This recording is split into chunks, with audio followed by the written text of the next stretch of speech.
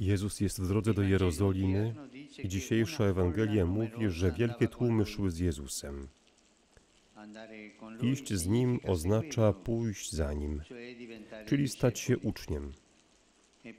A jednak do tych, których, do tych osób Pan kieruje mowę nieatrakcyjną i bardzo wymagającą.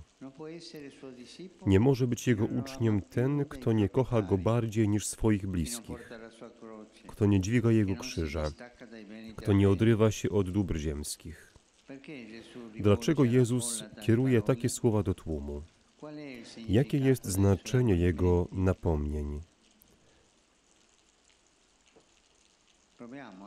Spróbujmy odpowiedzieć na te pytania. Przede wszystkim widzimy wielkie tłumy wielu ludzi idących za Jezusem.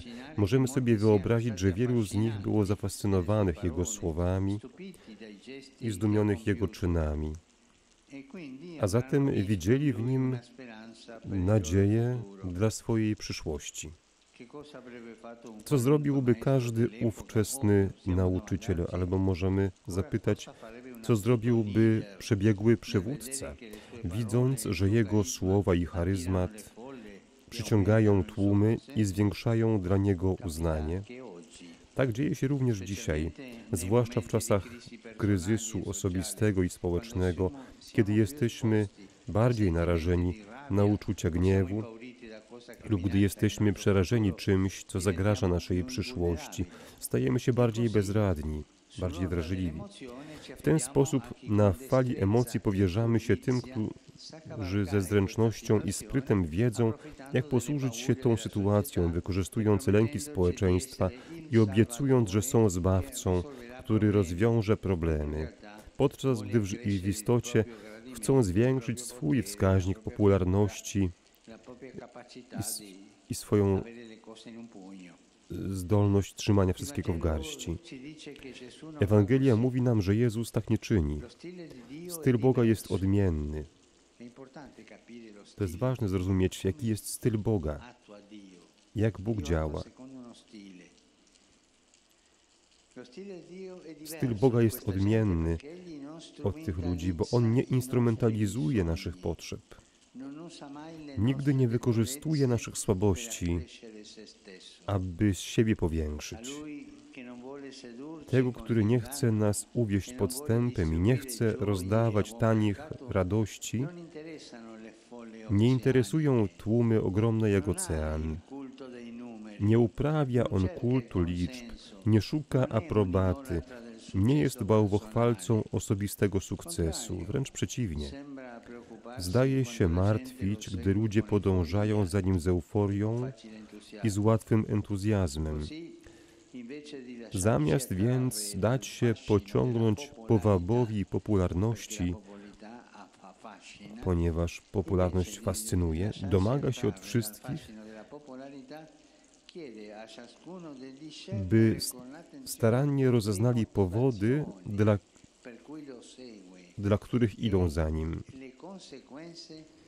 i konsekwencje, jakie to za sobą pociąga. Istotnie wielu z tego tłumu mogło pójść za Jezusem, ponieważ, ponieważ mieli nadzieję, że będzie On przywódcą, który wybawi ich od ich nieprzyjaciół, tym, który zdobędzie władzę i podzieli się nią z nimi, lub tym, który dokonując cudów rozwiąże problemy głodu i chorób. Można iść za Panem z różnych powodów, a niektóre z nich, musimy to przyznać, są światowe. Za doskonałymi pozorami religijnymi można ukryć zwykłe zaspokajanie swoich potrzeb, dążenie do osobistego prestiżu, pragnienie odgrywania znaczącej roli, kontrolowania spraw, żądze zajmowania miejsc i uzyskiwania przywilejów, dążenie do zdobycia uznania i jeszcze inne. To się też dzisiaj dzieje między chrześcijanami. Mo, ale to nie jest styl Jezusa. I nie może to być styl y, uczniów i Kościoła. Jeśli ktoś idzie za Jezusem z tych powodów osobistych, interesów, to pomylił drogę. Pan domaga się innej postawy. Pójście za nim nie oznacza wejścia na jakiś dwór czy udziału w orszaku triumfalnym. Nie oznacza też otrzymania ubezpieczenia na życie, polisy na życie. Przeciwnie, oznacza również dźwiganie swego krzyża, tak jak On, brać na siebie ciężary własne i innych osób, czynić z życia dar, nie coś, co się posiada, przeżywać je, naśladując hojną i miłosierną miłość, jaką On żywi wobec nas. Są to wybory, które angażują całość istnienia. Dlatego Jezus chce, aby uczeń nie przedkładał niczego ponad tę miłość, nawet najdroższych uczuć i największych dóbr. Ale żeby to uczynić, musimy patrzeć na Niego bardziej niż na siebie, uczyć się miłości, czerpać ją od ukrzyżowanego. Tam widzimy tę miłość, która daje siebie aż do końca bez miary i bez granic. Miarą miłości jest kochać bez miary. My sami, mówi papież Luciani, jesteśmy przedmiotem nieprzemijającej miłości Boga. Nieprzemijającej, nigdy nie gaśnie w naszym życiu. Zawsze jaśnieje nad nami i rozświetla nawet najciemniejsze noce. Zatem patrząc na krucyfiks, jesteśmy wezwani do życia tą miłością, do oczyszczenia się z naszych wypaczonych wyobrażeń o Bogu i naszych zamknięć, do miłowania Jego i innych ludzi w Kościele i w społeczeństwie, nawet tych, którzy nie myślą tak jak my, nawet naszych nieprzyjaciół.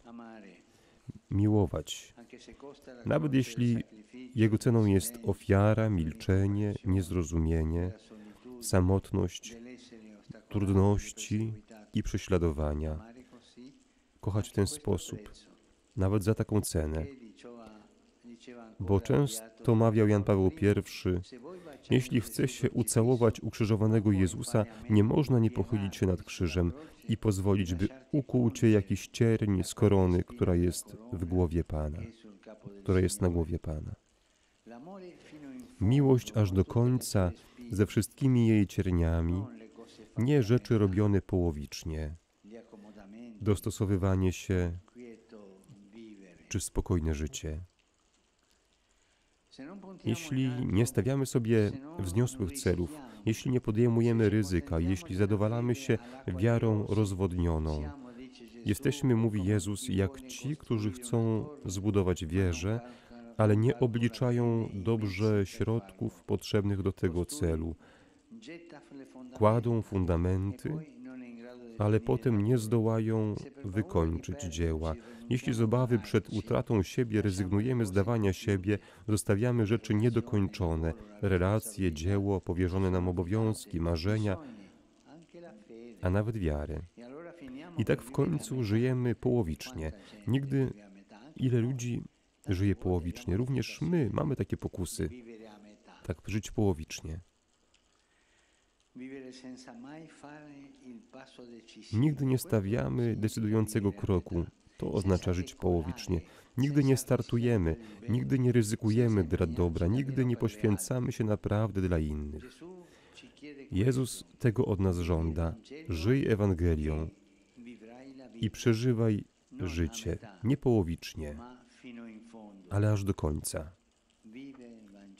Żyj Ewangelią, żyj życiem bez kompromisów.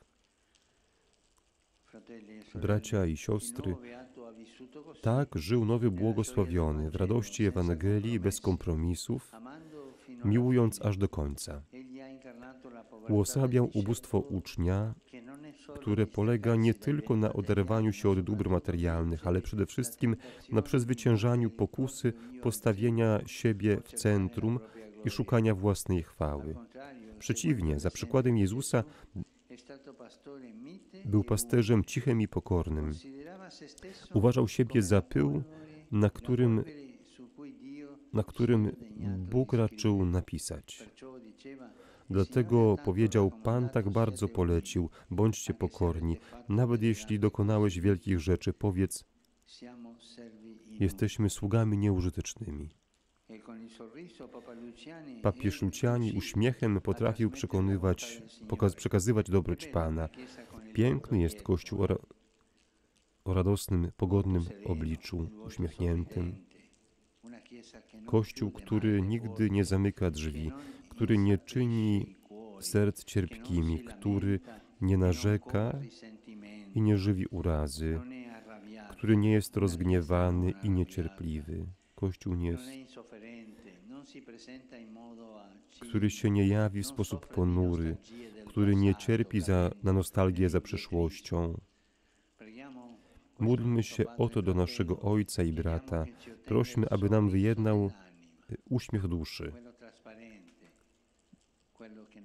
Ten, który nie łudzi, nie oszukuje. Prośmy Jego słowami o to, o to, o co sam prosił. Mówił tak: Panie, weź mnie takim, jakim jestem, z moimi wadami, z moimi ułomnościami, ale uczyń mnie takim, jakim Ty chcesz. Amen.